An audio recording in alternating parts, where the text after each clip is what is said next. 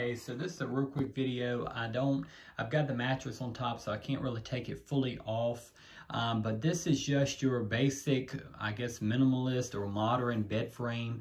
Doesn't have the big footboard on it, doesn't have the headboard on it, which is something that I'm going more for because I feel like it makes the room look a little bit bigger. Um, it is very solid. It has no creaking or cracking or any type of noises getting in or out of the bed or anything else.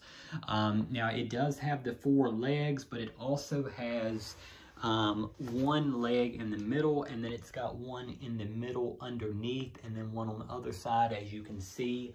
Um, it's got, in my opinion, more than enough slats that run actually all the way down from the bottom all the way up, and they're only a few inches apart.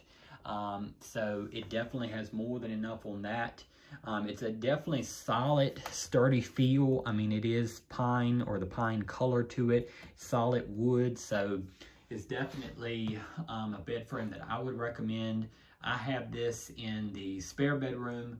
Um, so it is something that I like with not having that like metal bed frames, you have a creaking and that cracking, squeaking noise trying to get in or out of the bed. This is completely silent, no problem, no issues.